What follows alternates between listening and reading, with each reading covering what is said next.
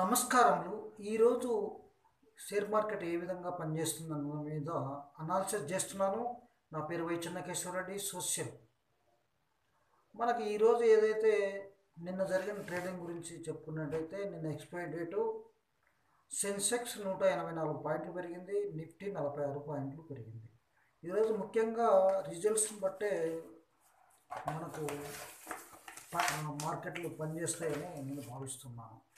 ఇక ముఖ్యంగా ఈరోజు మనకు బోర్డు సమావేశాలు ఉన్నటువంటి కంపెనీని చూస్తే Mahindra and Mahindra Aishwarya motors MRF GAIL India Nestle India bank of Baroda Tata communication Tata investment corporation IDBI bank IDFC Narayana Hrudayalaya CRISIL Ashok Leyland Allahabad bank Bharat port hedging corporation Allcargo logistic century plyboards century textiles Chambal fertilisers Max India equities holding GE shipping corporation Hindustan organic chemical Indian bulls real estate Inox wind KEC international doctor laptop labs Novartis India రైల్గర్ ఇండ enterprises Tata ఇవన్నీ కూడా results ఉన్నాయి.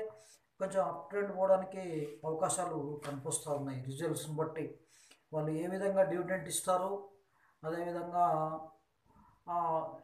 ఎలా performance చూపిస్తున్నాయి ఆ companies యొక్క market ఎంత sale చేశారనే దాని మీదనే ఈరోజు ట్రేడ్ జరుగుతుందని భావిస్తూ మనం ఏదైనా సరే లాంగ్ టర్మ్ ఇన్వెస్ట్ చేసినట్టయితే మంచిదని నేను భావిస్తూ ఈ వీడియో చేయడం నమస్తే ధన్యవాదములు.